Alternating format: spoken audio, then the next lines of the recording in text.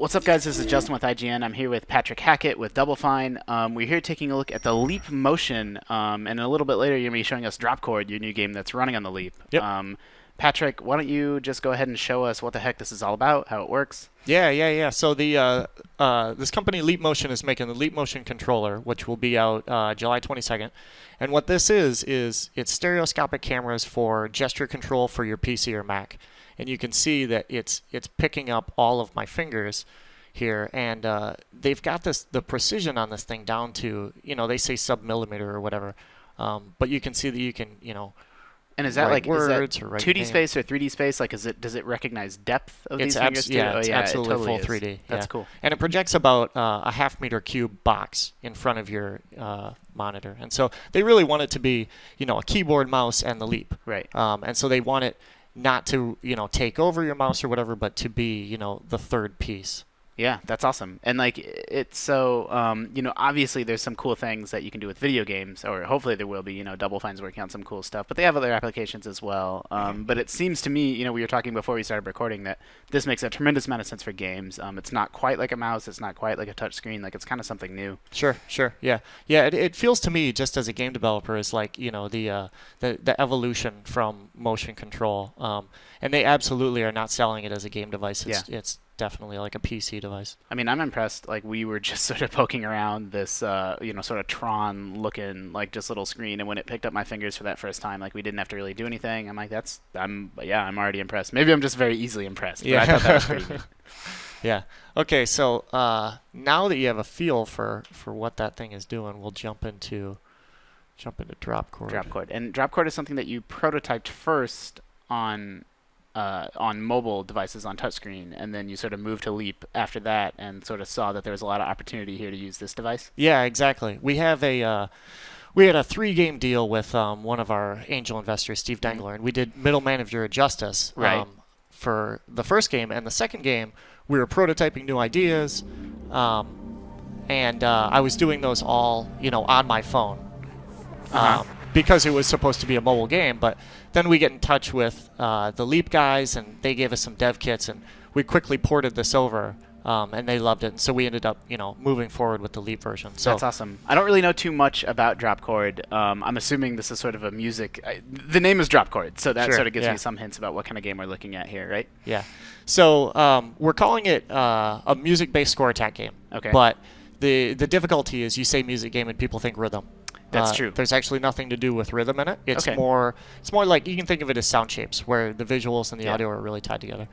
Um, Awesome. And this is this is one of the uh, one of the caveats of of developing for a brand new device, especially something like motion control. We have to explain, you know, the the controller as well as the game. And so in the, this this initial point, it, it kind of is, um, you know, convincing you, showing you where to put your fingers, Okay, where so to like kind of explaining the boundaries of the game. Yeah, it's like half tutorial and maybe like half calibration to make sure. Like if something were too super screwed up, like you wouldn't even be able to get to the menu. So Exactly. um, yep. You know, so people wouldn't be, oh, it's not working, or why it's not working right. So then you sort of put your fingers in there, and then it sort of give you a, an idea of where you were at. Yeah, yeah. Cool. And it, it's one of those problems with uh, with these motion control devices where um, when you first play it, you don't know where the boundaries are. Right. And then um, you know after you use it for a while, like it becomes extremely intuitive, and you kind of figure those out. But but initially, um, yeah, I hear you. And, and this so- is something that Double Fine has experience with with Kinect. You know, you sort of taught people how to. You need to get young children using Kinect, sure, and yeah. so um, you know how far away can they be? How close can they be? You know, you understand how to get people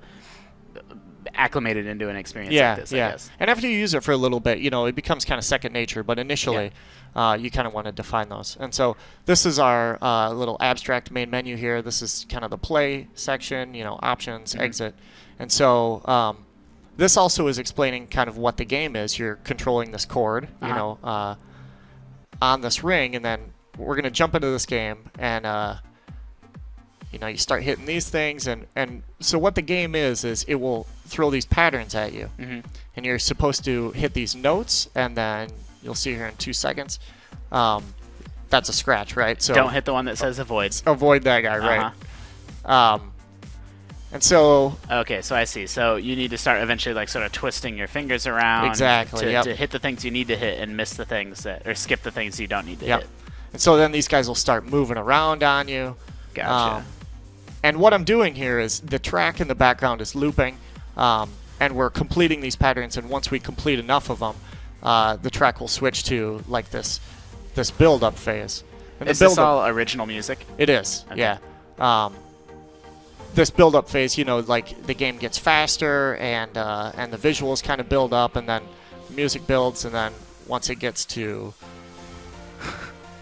this, There we then it switches to uh, switches to kind of this bonus stage. And so this is this is kind of like the mapping of, of the levels. You know, we really wanted to tie the uh, kind of the patterns that a DJ will use for electronic music to the progression of the levels. So who's writing the club music at Double Fine? Right?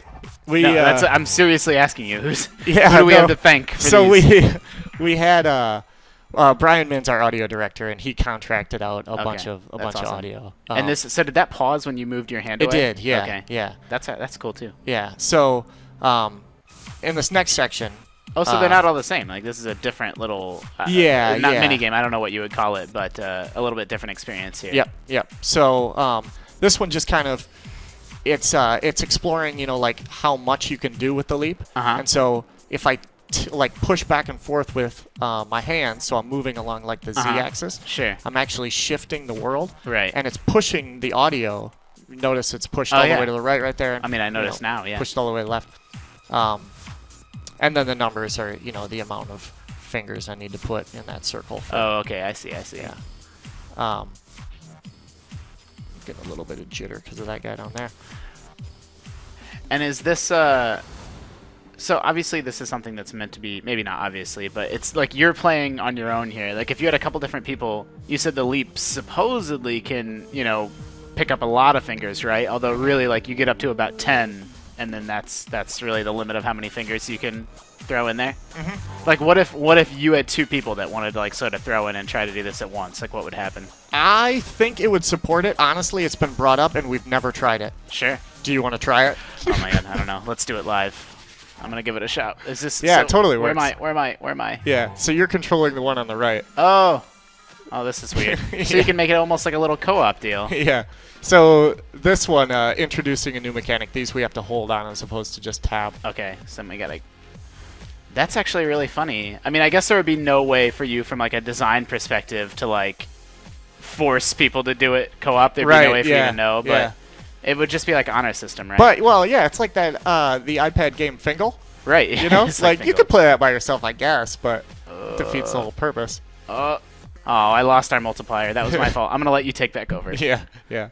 So, uh, so the game, you know, continues this pattern, brings in new mechanics, gets more difficult, uh, um, brings in new music, ties the visuals to the music, and So we saw um, sort of the deal where you're trying to get as many of your or the right number of fingers in the circle, and then we saw this where you keep your fingers on the outside of the circle and control the chord. I guess you call it. I mean, are those really the two main systems? those are the two. Yeah, Okay. there's uh, later in um, in the levels you get the ability to to spin the beam, Okay, and so then spinning the beam will pick up uh, a different type of bit. You know. sure. Um, and so, yep, it's just kind of uh, kind of this puzzle game that that Puzzle plays action. along. Yeah, music. plays along to the music. And so does it go until like is there a failure state, or are you trying to get as high a score as you can? Like, Yeah, so there's actually two modes. This is the uh, um, that was that was kind of like our our story levels. You know, like you go through the set um, set number of levels, Uh-huh. and then there's a there's like a, it's finite. You know, there's Right. an end to it. Um, and each level is sort of its own little musical ebb and flow. Exactly, yeah. Um, and then after after your first playthrough, it actually unlocks like a we're calling it the full mix mode because instead of playing the music as the, like these chopped up versions, it's actually playing the music all the way through like the original artist Mhm. wri- you know wrote the song. Um, but it's also the uh, it's an endless mode. You know, it's it's like the true score attack. It just goes, gets more difficult, gets faster until you actually until you lose. Awesome. This looks really cool. Um, so this is coming to Leap uh, like day one, right? Um, Yeah, yeah, it'll definitely be a, a launch title on there. um, on their app store. So Leap owners, if you have one pre-ordered, you'll be able to pick up DropChord on it was July um, July 22nd. July 22nd, and uh, on the Leap store, their sort of own app store that they're gonna have. Yep, it's called Airspace. Airspace. And it's it's the type of thing that uh, as soon as you plug in your Leap, it'll be the first thing that shows up. Right. So you can't miss it. And how much is it gonna cost? The Leap is uh, eighty dollars, but DropChord's going to be three dollars, two ninety nine. Awesome. And uh, and a little bit after that Leap version comes, uh, you know, iPad or iOS gamers will be able to get their hands on this as well. Hopefully. for sure. Cool. For sure. Awesome. Well, thank you very much for the demo. Um, you know, if you do have a Leap, make sure you're checking out DropChord. Remember that for all the sort of hottest, strangest experimental games, you can keep it locked to IGN.